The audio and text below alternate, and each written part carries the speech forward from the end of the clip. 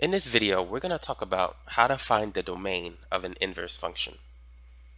So we have the regular function 3x minus 4. If we were to draw a rough sketch of the graph of this function, it would look something like this. It has a y-intercept of negative 4 and a slope of positive 3. So this is a generic shape of that graph. The domain ranges from negative infinity to infinity. The domain represents the x values of the function that it can have. And x could be anything. The range has to do with the y values. y can be anything in this graph. There's no restrictions. Now, in order for this function to have an inverse function, it must be a one-to-one -one function, which means that it must pass the horizontal line test. It can only touch the horizontal line at one point. So because this function is one-to-one, -one, the inverse function exists. Now let's go ahead and find the inverse function of f. So replace f with y, and then switch x and y, and then solve for y. If we add 4 to both sides, we get that x plus 4 is equal to 3y. Dividing both sides by 3, we get this. So now we're going to replace y with the inverse function symbol. So the inverse function is x plus 4 over 3. Now what you need to know is that the domain of the inverse function is the range and the range of the inverse function is the domain. So for this particular video, we're going to focus on finding the domain of the inverse function. And the answer for this example is all real numbers. It's negative infinity to infinity. Now let's consider another problem.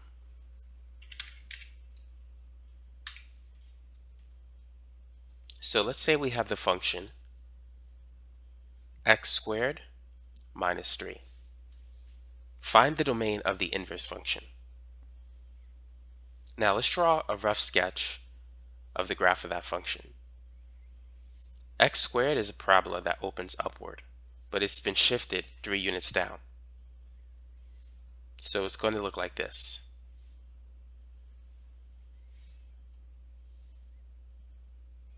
And it has a y-intercept of negative 3. Now, this particular function does not have an inverse function because it does not pass the horizontal line test. It touches it at two points. So we can't find an inverse function for this unless we restrict the domain. So what we're going to do is we're only going to focus, we're going to create a new f of x.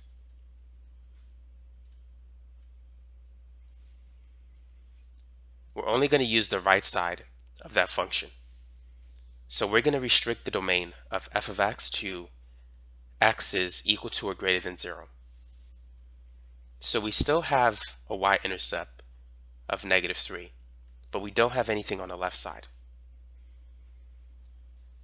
Now, this new restricted f has an inverse function because it passes the horizontal line test. So we could find the domain of the inverse function for this particular function. But before we do that, let's find the domain and range. So we restrict the domain to x being equal to or greater than 0. So that means from 0 to infinity. And the range is also restricted as well.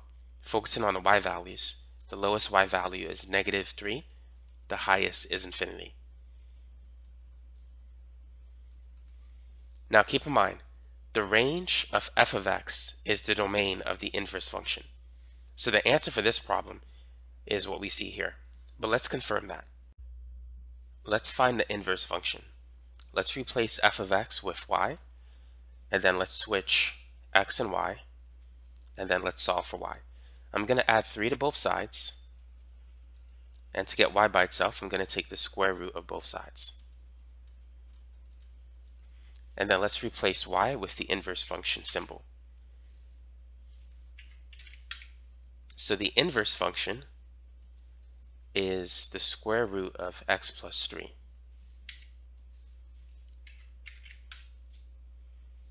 If we were to graph that, the square root of x looks like this, but this has been shifted 3 units to the left. So it's going to start at negative 3, and it's going to go towards the right. So the blue line is f, the red line is the inverse function. When you graph f and the inverse of f, they reflect about the line y equals x. So that's how you know if you did it correctly. Now, when dealing with radical functions, the inside of the radical has to be equal to or greater than zero. It can't be negative. Otherwise, you'll get an imaginary number. So subtracting both sides by 3, we get that x is equal to or greater than uh, negative 3. For the range, I need to correct this because I put positive 3 for the range, but it's actually, it should be negative 3. I missed that negative sign. But nevertheless, this is the answer. So the domain for the inverse function is from negative 3 to infinity. I just forgot my negative 3 here. It's very easy to forget a negative sign. Now, if you want to find a range of the inverse function, it's going to be the domain of the regular function. So that's 0 to infinity. And we can see that's the case with a square root function. Focusing on the red line, the lowest y value is 0, and this will continue to increase to infinity. So it's from 0 to infinity. The red line never goes below the x-axis, so it doesn't have any negative y values. Therefore, this is the domain for the inverse of f, and that's the range for it. Now let's consider another example. So let's say f of x is equal to the square root of 8 minus 2x. Go ahead and find the domain of the inverse function.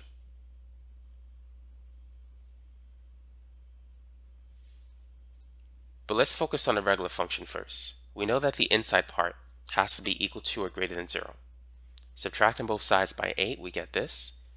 And then if we divide by negative 2, negative 8 divided by negative 2 is positive 4. And since we're dividing by a negative number, we need to change the direction of the inequality. So the domain for f is negative infinity to 4, with 4 being included. If you were to sketch this graph, it would have an x-intercept of 4. If you have a positive sign in front of it, it's going to be above the x-axis. And it's going to go this way. So we can see why the domain will be from negative infinity to 4. Now looking at the range, the lowest y value is 0. The highest, it can continue going up to infinity. So the range is 0 to infinity which means this is our answer for the problem. That's going to be the domain of the inverse function. Let's find the inverse function. By the way, this function is one-to-one. -one. It passes the horizontal line test, so the inverse function exists. Let's replace f of x with y, and then let's switch x and y. Now let's square both sides. If we take the square of both sides, the square root will disappear on the right side. Now I'm going to add 2y to both sides, and I'm going to subtract both sides by x squared. When you do this, it has the effect of moving the 2y from the right to the left. It'll change from negative 2y to positive 2y. Moving x squared to the other side makes it change from positive x squared to negative x squared. Now dividing both sides by 2 we get that y is 8 minus x squared over 2. So the inverse function is this, but I'm going to rewrite it as 8 over 2 is 4, and then minus x squared over 2, which is the same as 1 half x squared. We could write that like this. Negative 1 half x squared plus 4. It makes it easier to graph. So x squared is typically a graph that opens upward, but since we're dealing with negative x squared, we know that opens downward, but it's been shifted up 4 units. So it should start somewhere over here. And if we didn't restrict this function, it will look something like this. Uh, that's going to be a rough sketch. But this function is going to be restricted because if we don't, it's not a one-to-one -one function. So what we need is only the right side of this graph. And if we think about y, the range of f of x is 0 to infinity. Therefore, the domain must be restricted to that. It's going to be 0 to infinity. So we only need the right side of the inverse function. And we could see if we were to graph y equals x, the red line and the blue line, they reflect about the line y equals x. So we had to restrict the domain. The range of the inverse function is the domain of the original function, negative infinity to 4. So if we follow the blue line, this is going to go from negative infinity. And if we follow it up, it's going to stop at 4. When you plug in 0 into this function, you get 4. So the range is from negative infinity to 4. But this is the answer we're looking for, the domain of the inverse function. It's the range of the regular function, which is 0 to infinity. Now let's work on one more problem. This time we're going to focus on a rational function. Let's say f of x is 3x plus 2 divided by 5x minus 4. Go ahead and find the domain of the inverse function. Now, when dealing with rational functions, you can't have a zero in the denominator of the fraction. So we could say that 5x minus 4 cannot be 0. Adding 4 to both sides, we get this. Dividing by 5, we get that x can't be 4 over 5. It could be anything else but that. So for f, the domain is going to be from negative infinity to 4 over 5, and then union 4 over 5 to infinity. x can be anything except 4 over 5. Now what about the range? So in this function, we have the numerator, which is degree 1, and the denominator is a linear equation with degree 1 as well.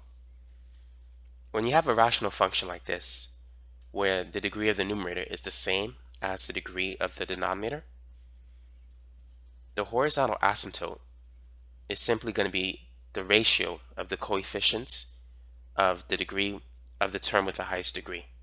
So in this case, it's going to be 3 over 5. That's the horizontal asymptote. What you need to know is that the y value for this function can be anything except the horizontal asymptote. The graph will get close to the horizontal asymptote, but it won't touch it. So since this is the horizontal asymptote, y will never be that value. Therefore, the range is going to be negative infinity to 3 over 5 union 3 over 5 to infinity. So in order to write the range of a function, a rational function, you need to remove the horizontal asymptote. So if this is for f, then the inverse function has the domain negative infinity to 3 over 5 union 3 over 5 to infinity. the range of the regular function becomes the domain of the inverse function. So this is the answer that we're looking for. Now let's find the inverse function. So let's replace f of x with y, and then let's switch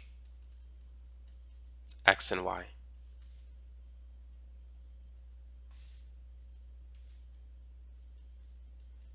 And then let's solve for y. So I'm going to put x over 1, and then we're going to cross multiply. So this is going to give us 1 times 3y plus 2, and that is going to equal x times 5y minus 4. Now let's distribute x to 5y minus 4. So it's 3y plus 2 is equal to 5xy minus 4x. I'm going to move this to the other side and this to the left side.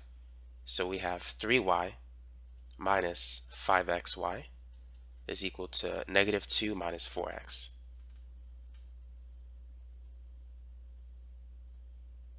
I probably should have did it a different way, but we can still get the right answer. Now I'm going to factor out y. So this is going to be 3 minus 5x is equal to negative 2 minus 4x. And then I'm going to divide by 3 minus 5x. So y is negative 2 minus 4x over 3 minus 5x. I'm going to mu multiply the top and bottom by negative 1 just to make it look better. So y is going to be 4x plus 2. So the negative 5x will become positive 5x, and the positive 3 will become negative 3. So now it looks a lot better. And so we can write this as the inverse of f.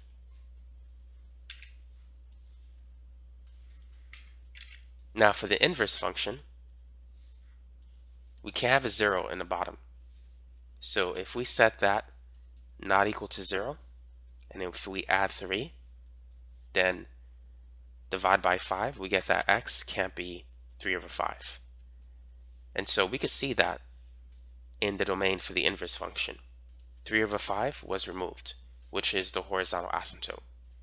So that confirms that we have the right answer.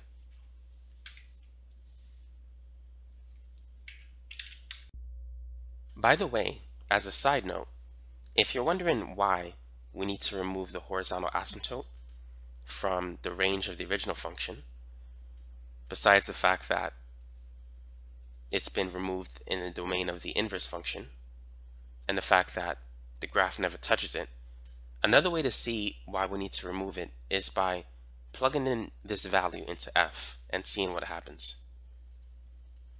If we were to replace y with 3 over 5 and try to solve for x, notice that we won't get a value for x. Let's cross multiply. So we have 5 times 3x plus 2 equal 3 times 5x minus 4. So distributing the 5, we get 15x plus 10, and distributing the 3, we get 15x minus 12. Now, if we subtract both sides by 15x, x completely disappears. And we're left with 10 on the left, negative 12 on the right, and these two do not equal in value, so it doesn't work. Therefore, there is no x value that will produce the y value of 3 over 5. And that's why it's the horizontal asymptote, and that's why it must be removed from the range of f. And that's also why it doesn't exist in the domain of f. I mean, the domain of the inverse function of f. So that's basically it for this video. Now you know how to find the domain of an inverse function, and the key is by finding the range of the original function.